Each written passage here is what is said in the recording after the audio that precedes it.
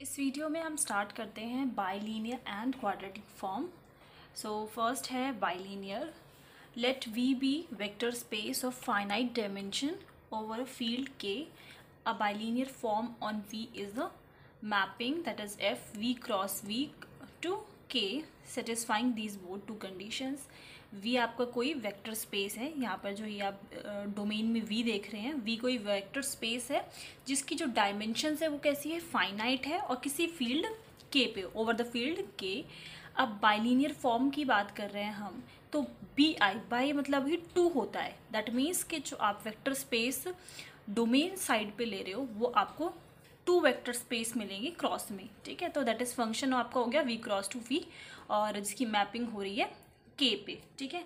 और ये के क्या है? फ़ील्ड है आपकी।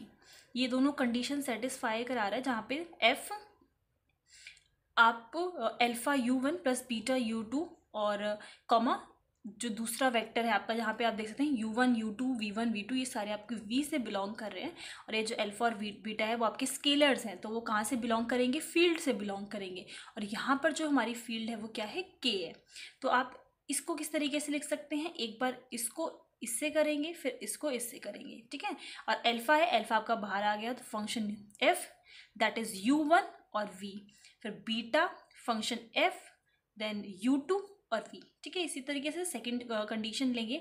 अब एक बार आपने यहाँ पे यू वन यू टू ले लिया था तो नेक्स्ट में आप वी वन वी टू लेंगे और यहाँ पर आपने यू लिया था वी लिया था तो यहाँ पर यू लेंगे। आप चाहो तो यहाँ पे वी वन भी ले सकते हो, और या तो या फिर यहाँ पर यू भी ले सकते हो, इससे कोई प्रॉब्लम नहीं होगी।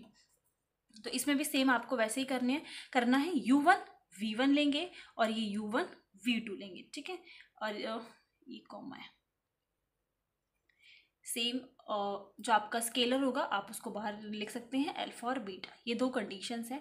We express condition number one that is F जो है लीनियर है फ़र्स्ट वेरिएबल में. यू वन यू टू आपका पहला वेरिएबल है वी आपका वी वन वी टू जो आपका सेकंड वेरिएबल है. तो एफ़ जो है लीनियर फ़र्स्ट वेरिएबल में.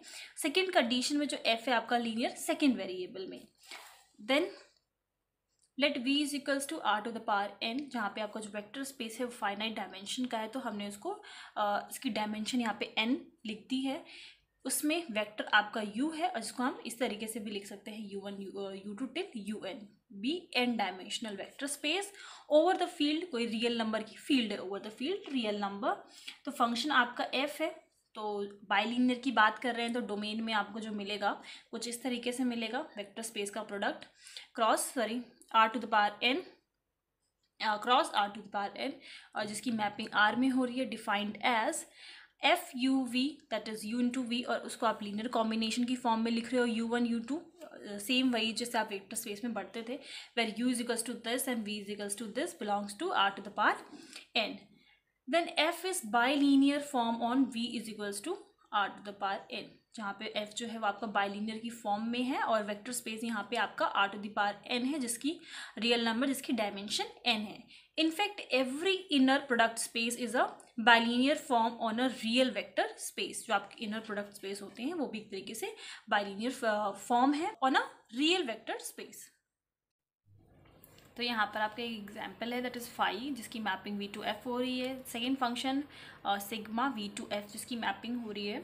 दो आपके लिए लीनियर फ़ंक्शंस हैं, और अगर आप बाई लीनियर की बात करते हैं तो that is V cross V जिसकी मैपिंग हो रही है। एफ़ में defined as F U V ठीक है? आपने एक एक वी से एलिमेंट लिया यू दूसरे वी से आपने एलिमेंट लिया वी ठीक है? जिसको आप इस तरीके से भी लिख सकते हैं। वी टू एफ़ और वी टू एफ़ दो आपकी, इसको आपने स्प्लिट करके दो फ़ंक्शंस में हमने लिखा हुआ that is phi and sigma तो आप फाइव ऑफ़ यू ले सकते हैं, एक वेक्टर स्पेस से हमने यू लिया, जिसकी इमेज निकाल रहे हैं तो आपको एफ़ में मिल रही है that is phi U small V जो वी है, हमने डोमेन से लिया, और उसमें आपने ट्रांसफॉर्मेशन जो लगा फ़ंक्शन लगाया तो आपको जो रेंज मिल रही है, वो कोडोमेन से मिल रही है, आपकी मैपिंग कोडोमेन में हो रही है that is sigma V then F is bilinear form on V second जो इंपॉर्टेंट है टॉपिक है वो है क्वाड्रेटिक फॉर्म तो क्वाड्रेटिक फॉर्म के जो क्वाड्रेटिक में जो पॉलिनोमियल्स होते हैं क्वाड्रेटिक पॉलिनोमियल्स हमें पता है सेकेंड डिग्री के होते हैं. तो क्वाड्रेटिक फॉर्म की जब हम बात करेंगे तो एक ऐसे होमोजीनियस पॉलिनोमियल्स जिनकी जो सेकेंड डिग्री के हैं बट उसमें जो वेरिएबल्स है वो वेरी uh, कर सकती हैं या फिर काफ़ी सारे वेरिएबल्स के uh, के बेस पे हम क्वाड्रेटिक फॉर्म को बना सकते हैं in any number of variables called the quadratic form जिसकी फॉर एन एग्जांपल आप देख सकते हैं। यहाँ पर जो डिग्री है वह सेकंड डिग्री है और आपको दो वेरिएबल्स दिख रहे हैं एक्स और Y same with the other जैसे कि आप देख सकते हैं ए एक्स स्क्वायर डिग्री जो है वो टू है, पर वेरिएबल्स जो है वो चेंज हो रहे हैं। यहाँ पे कुछ एग्जाम्पल्स हैं, जैसे कि सब में आप देखेंगे डिग्री जो है आपको टू मिलेगी बट जो नंबर ऑफ़ वेरिएबल्स हैं वो आपके चेंज हो रहे हैं। फ़र्स्ट में आप देखेंगे X and Y two variables मिल रहा है। सेकेंड में देखेंगे आपको X Y Z three variables मिल रहे हैं। और इस थर्ड में X Y Z and W जो है, एक हमने एक्स्ट्रा लिखा हुआ है तो आपको फोर वेरिएबल्स मिल रहे हैं। तो इसी तरीके से डिग्री आपकी टू हो और वेरिएबल्स आप चेंज कर सकते हैं। ऐसे ही जो अगर हम एन वेरिएबल्स की बात करेंगे that is X one X two till X N तक की बात करते हैं the general quadratic form is next जो है, वो अगर आप एन वेरिएबल की बात करें तो सबमिशन की फॉर्म जो है वो इस तरह से हो जाएगी। आई का सबमिशन हमने एज इट इज़ रखा जे की वैल्यू पुट कर दी। तो जहाँ जहाँ पे जे की वैल्यू जे आपको यहाँ पे लिखा हुआ नज़र आ रहा है, उसकी वैल्यू आपको वन से लेकर एन तक वेरी करानी है। That is B I one X one फिर X two and so on till X N तक जाएगा। फिर आप अगर आई की वैल्यू वन से एन तक वेरी करा रहे हैं तो हर एक जैसे ये जो फ़र्स्ट टर्म है यहाँ पर जो आई की वैल्यू है वो वन से लेकर एन तक वेरी करेगी। उसी टाइप से इस सेकेंड टर्म के लिए आई की वैल्यू वन से लेकर एन तक वेरी करेगी and same for the other terms अब मैं आपको आई की वैल्यू वन से लेकर एन है तो मैं आई से लेकर जो वन से लेकर टू तक शो कर दे रही हूँ। ठीक है? शॉर्ट्स में कि आपको किस तरीके से करना है। जैसे कि फॉर एन एग्ज़ाम्पल यहाँ पर है B I one X I X one plus B I two X I X two B I N X I X N ठीक है? अब मैं जो सबमिशन की वैल्यू यहाँ पे पुट कर रही हूँ that is I is equals to one से लेकर टू तक जा रहे हैं तो यहाँ पर जो आपको दो टर्म्स मिलेगी, वो वन और टू ही मिलेगी। तो एक बार मैंने वन वैल्यू पुट करी तो B one one X one X one plus B two one X two X one ठीक है? अब इसके लिए पुट कर दिया, अब इसके लिए पुट करेंगे that is plus B one two X यहाँ पे one X two then B two X two X two कुछ इस टाइप से और रेस्ट जो टर्म्स होंगी आपकी वो एज इज़ होंगी। अब यहाँ पर ये जो है आपको, आप इस तरीके से भी लिख सकते हो कि एक्स वन स्क्वायर हो गया, ठीक है? और यहाँ पर इसको एक्स टू स्क्वायर इस तरीके से टर्म चलेगी। मतलब हर एक टर्म के लिए आपको वन से लेकर अगर एन तक है तो यहाँ पर वन से लेकर एन तक बात करनी है। सेम यहाँ पर भी वन से लेकर एन तक और सेम यहाँ पर भी ठीक है? तो आप देख सकते हैं बहुत सारी टर्म्स जो है एक्स्ट्रा मतलब काफ़ी सारी नंबर ऑफ़ टर्म्स आपको मिलेंगी। इन अब expansion the coefficient of X I X J तो अगर जो आपको कोएफिशिएंट जो ऊपर मिलेगा मैंने यहाँ पर नहीं लिखा हुआ ठीक है? और इस लाइन को आपको इग्नोर करना है। आ, ये जो है गलत है। तो अगर आपको जो कोइफिशिएंट सॉरी जो एक्सपेंशन मिलेगा, उसमें से आपको कोइफिशिएंट बताना है एक्स आई और एक्स जे का। तो आपको क्या कोइफिशिएंट मिलेगा? B I J plus B J I अब आप यहाँ पे देख सकते हैं, अगर सिर्फ़ मैं टू टर्म्स की बात कर रही हूँ, और मैंने इसलिए आपको दिखाया भी है कि अगर हम कोइफिशिएंट हमें किस तरीके से मिलेगा एक्स आई और एक्स जे का निकालना है आपको। हम इसकी बात नहीं कर सकते बिकॉज़ यहाँ पर आपको एक्स आई ही मिल रहा है, ठीक है? तो ये टर्म देख लीजिए फिर सेम यहाँ पर हम इसकी बात नहीं कर सकते बिकॉज़ यहाँ पे आपको एक्स जे या फिर एक्स आई मान लीजिए तो सेम मिल रहा है। तो हमें ये डिफरेंट डिफरेंट की बात करनी है दैट इज़ यहाँ पे एक्स वन और एक्स टू तो हम इस टर्म की भी बात करेंगे। अब इसका कोएफिशिएंट की बात कर रहे हैं तो मतलब ये मिल रहा है और ये मिल रहा है। प्लस में ले प्लस में लेंगे इन दोनों को तो हमने वही सेम करा है। यहाँ पे टू वन है और यहाँ पे वन टू है मतलब आई जे और जे आई तो जो आपको कोएफिशिएंट मिलेगा वो किस टाइप होगा? B I J plus B J I ठीक है?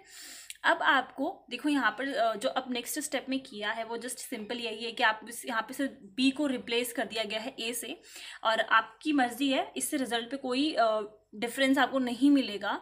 जस्ट uh, मैट्रिक्स आगे हमें इसको एज अ मैट्रिक्स की तरह ट्रीट करना है तो प्रैक्टिकली uh, जब हम एग्ज़ाम्पल सॉल्व करते हैं तो हमें मैट्रिक्स गिवन होती है। उसमें आप उसको ए uh, ने, उसका नेमिंग ए एज अ ए कर रहे हो या एज अ बी कर रहे हो उससे कोई फ़र्क नहीं पड़ता। बट यहाँ पर जो करा है वो मैं आपको एक्सप्लेन कर रही हूँ दैट इज़ इसको हमने ए आई जे और इसको ए जे आई की टाइप में लिखा हुआ है, ठीक है? और हमने ये सपोज़ करा है कि ये किसके इक्वल है? टू ए आई जे के इक्वल है।